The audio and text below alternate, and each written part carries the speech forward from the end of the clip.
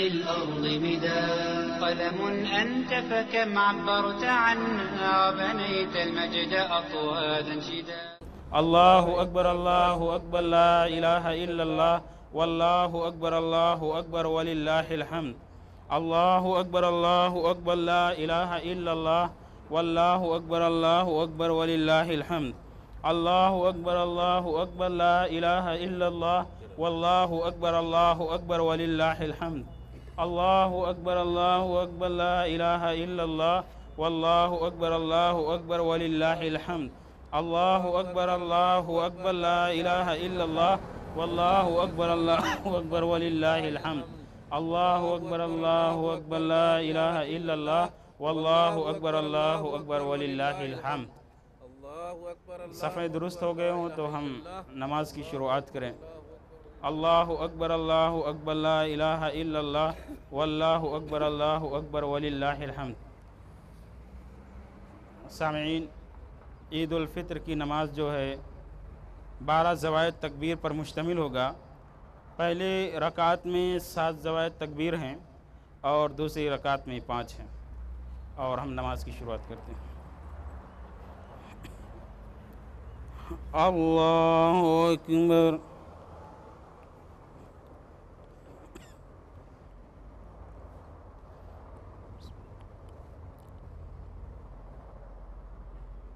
الله أكبر. الله أكبر. الله أكبر. الله أكبر. الله أكبر. الله أكبر. الله أكبر.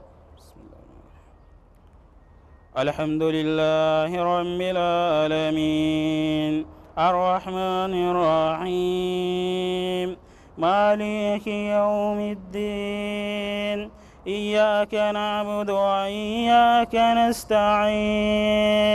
اهدنا الصراط المستقيم.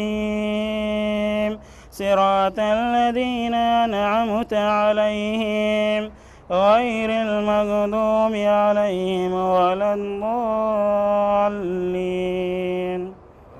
آمين قد أفلح من تسكى وذكر اسم ربه فصلى. بل تؤثرون الحياة الدنيا والآخرة خير وأبقى. إن هذا لفي الصحف الأولى صحف إبراهيم وموسى. الله أكبر.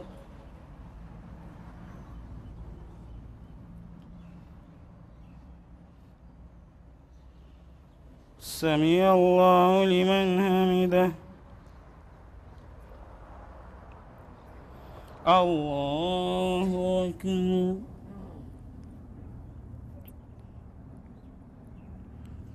الله أكبر. الله أكبر. الله أكبر. الله أكبر. الله أكبر. الله أكبر. الله أكبر. الحمد لله رب العالمين. الرحمن الرحيم. مالك يوم الدين. إياك نعبد وإياك نستعين. اهدنا الصراط المستقيم. صراط الذين أنعمت عليهم. غير المغضوب عليهم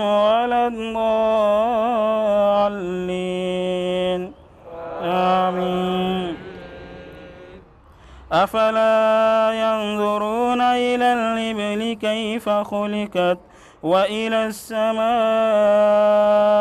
كيف رفعت وإلى الجبال كيف نصبت وإلى الأرض كيف سطحت فذكر إنما أنت مذكر لست عليهم بمسيطر إلا من تولى وكفر فيعذبه الله العذاب الأكبر.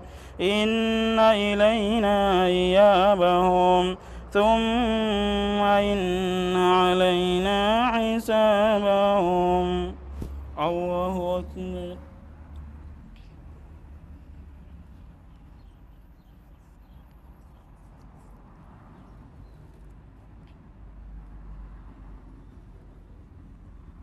سمع الله لمن حمده. الله أكبر.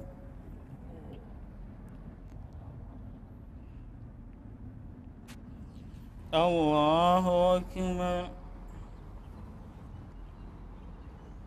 الله أكبر.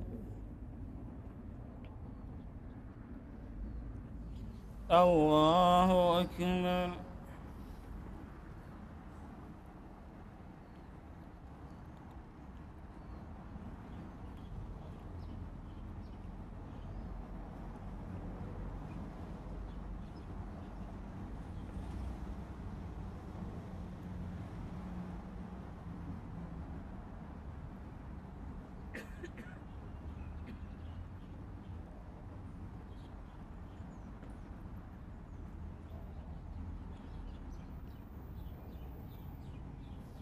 السلام عليكم ورحمة الله. السلام عليكم ورحمة الله. الله أكبر استغفر الله استغفر الله. أكبر الله أكبر لا إله إلا الله. والله أكبر الله أكبر ولله الحمد. الله أكبر الله أكبر لا إله إلا الله. والله أكبر الله أكبر ولله الحمد. الله أكبر الله أكبر لا إله إلا الله والله أكبر الله أكبر ولله الحمد الحمد لله الحمد لله نحمده ونستعينه ونستغفره ونعوذ بالله من شرور أنفسنا ومن سيئات أعمالنا من يهده الله فلا مضل له ومن يضلله فلا هادي له وأشهد أن لا إله إلا الله وحده لا شريك له وأشهد أن محمدا عبده ورسوله أما بعد.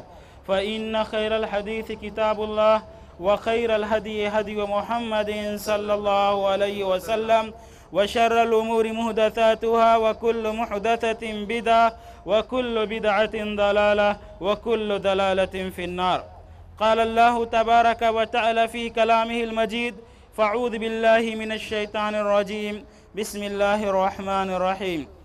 قاف والقرآن المجيد بل عجبوا أن جاءهم منذر منهم فقال الكافرون فقال الكافرون هذا شيء عجيب. أي إذا متنا وكنا ترابا ذلك رجع بعيد. برادران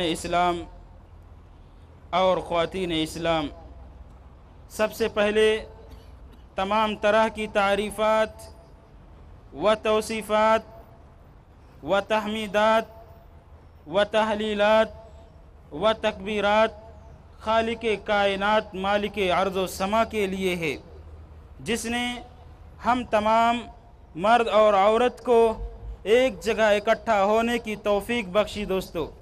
آج کا دن بڑا ہی مبارک دن ہے، جسے عید الفطر کے نام سے جانا جاتا ہے۔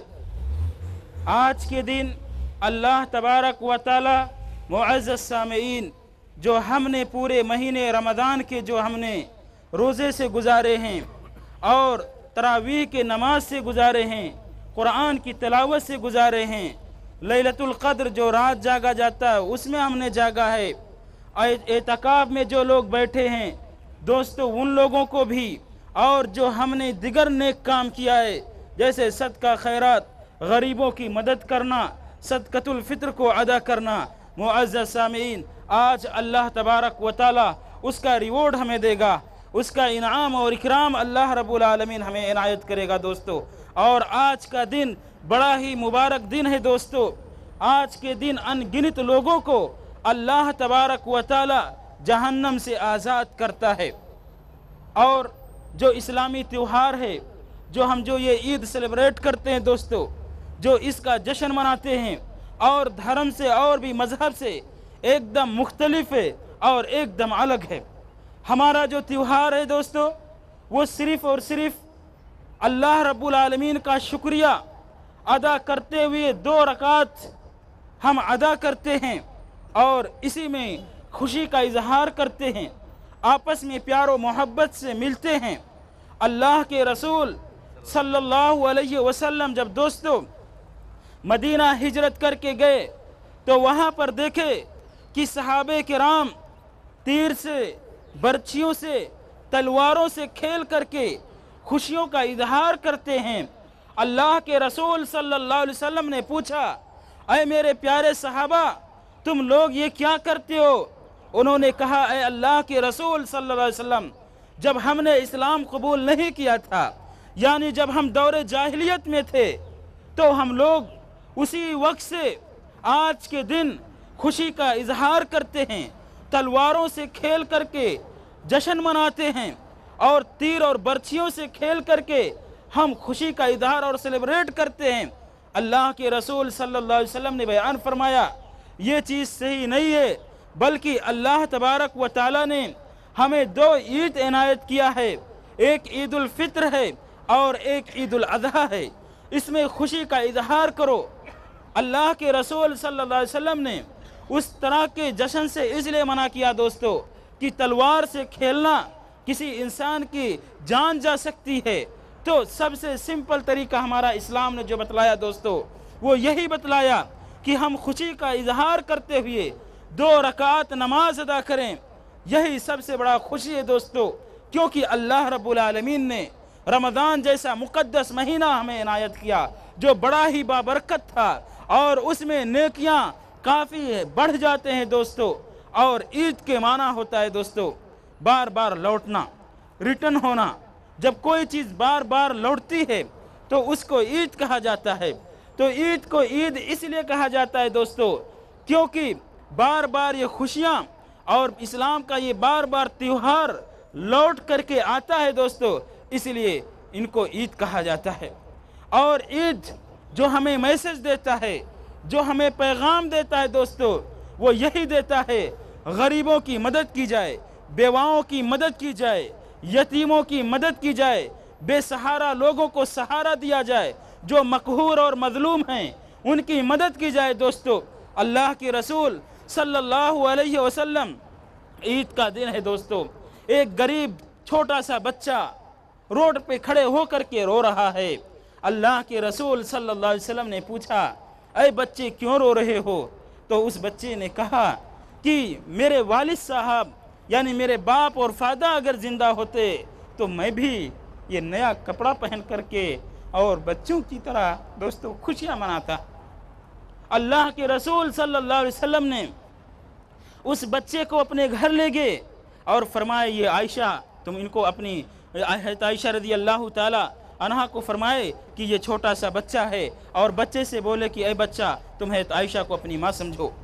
اور اللہ کے رسول صلی اللہ علیہ وسلم نے ہر چیزیں عنایت کی دوستو۔ تو اس سے پتہ چلا دوستو، یہ عید کا دن صرف یہ نہیں ہے کہ ہم خوشی کا اظہار کریں، بلکہ وہ غریب مسلمان اسی لیے اللہ کے رسول صلی اللہ علیہ وسلم نے دوستو صدقت الفطر کو لازم اور ضروری قرار دیا ہے۔ کیوں؟ تاکہ غریب